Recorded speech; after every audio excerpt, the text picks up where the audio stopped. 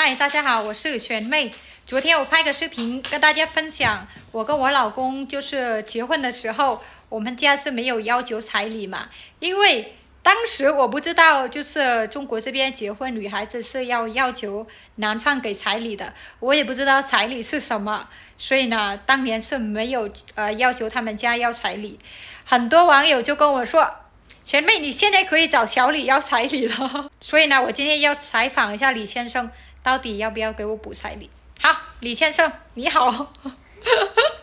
我现在有很多网友说叫你给我补彩礼，你补不补？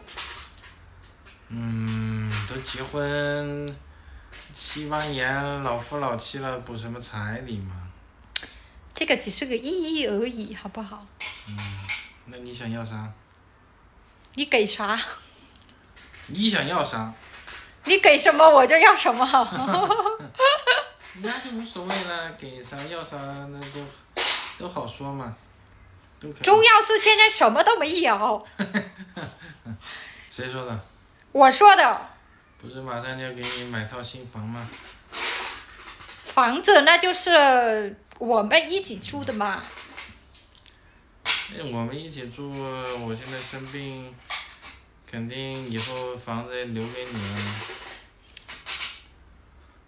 啊，我我该说什么呢？对不对？呃，啊，也对哈。其实呢，我觉得我们结婚嘛，两个人结婚呢，在一起呢，只要幸福就可以了。其实呢，彩礼不彩礼呢，其实也不是很重要的。呃，所以呢，全妹。也不后悔当年不要彩礼，因为我觉得呢，彩礼只是一个意义而已，只要两个人相爱就可以了。